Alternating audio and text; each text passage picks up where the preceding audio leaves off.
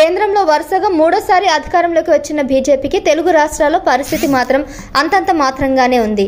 ఏపీలో టీడీపీ పుణ్యమా అని సంకీర్ణ ప్రభుత్వంలో కొనసాగుతున్న ఆ పార్టీ తెలంగాణలో మాత్రం ఎనిమిది మంది ఎంపీలు అంతే స్థాయిలో ఎమ్మెల్యేలున్నా ఏమీ సాధించలేకపోతుంది.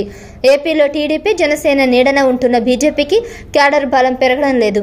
రాష్ట్రంలో బీజేపీ పుంజుకునేలా చేయాలని సభ్యత్వాలను పెంచాలని కేంద్ర నాయకత్వం టార్గెట్ విధించిన డీలాగా పడున్న రాష్ట్ర నేతలు ఎటూ కదలకుండా కూర్చున్నారు.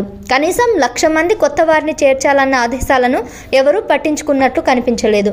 పైగా సభ్యత్వ రుసుమును రెండు వందల రూపాయలు పెడితే ఎవరు చేరుతారని బీజేపీ నేతలు ప్రశ్నించుకుంటున్నారు. ఏదో మొక్కబడిగా సభ్యత్వ నమోదు కార్యక్రమం చేపట్టి వెళ్ళిపోయిన ఏపీ బీజేపీ అధ్యక్షురాలు పురంధేశ్వరి తర్వాత పట్టించుకున్న దాఖలాలు లేవు. పైగా టీడీపీ వాళ్ళు ఫ్రీగా సభ్యత్వం ఇస్తుంటే మీకు డబ్బులు కట్టి ఎవరు చేరుతారని జనం ప్రశ్నిస్తున్నారు. ముఖ్యంగా సోము వీరాజు విష్ణువర్ధన్ రెడ్డి మాధవ్ వంటి ఆర్ఎస్ఎస్ మూలాలు ఉన్న నాయకులు సభ్యత్వాన్ని తమకు సంబంధం లేదన్నట్టుగా వదిలేశారు. అంత పురంధేశ్వరి చూసుకుంటున్నారని తమ చేతిలో ఏమీ లేదన్నట్టుగా వారు వ్యవహరిస్తున్నారు. పైగా ఆంధ్రప్రదేశ్కు కేంద్ర ప్రభుత్వం చేసిందేమిటని జనం ప్రశ్నిస్తుంటే నీళ్ళు నమ్మడం ఏపీ బీజేపీ నేతల వంతైంది ఒక దశలో పురంధేశ్వరిని తొలగించి మాజీ సీఎం కిరణ్ కుమార్ రెడ్డికి ఏపీ బీజేపీ పగ్గాలు అప్పగిస్తారని ప్రచారం జరిగింది.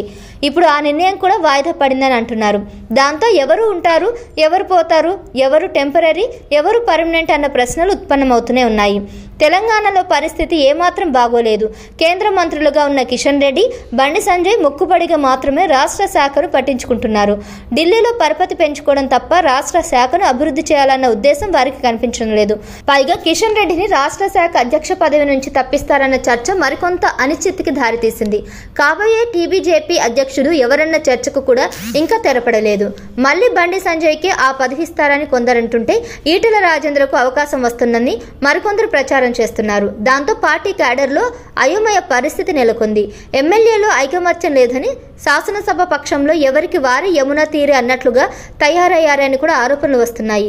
బీజేపీ ఎల్పీ నేత మహేశ్వర్ రెడ్డిని ఎవరు ఎవరూ పట్టించుకోవడం లేదని చెబుతున్నారు పైగా కాంగ్రెస్ బీఆర్ఎస్ ఒకరిపై ఒకరు ఆరోపణలు చేసుకుంటూ మీడియా స్పేస్ మొత్తం తీసేసుకుంటున్నారు. దాంతో మీడియాతో బీజేపీ నేతలకు సరైన ప్రాధాన్యం లభించకపోవడం కూడా సమస్యగా మారింది. Please subscribe to subscribe to please subscribe to please subscribe to KTV Telugu KTV Telugu KTV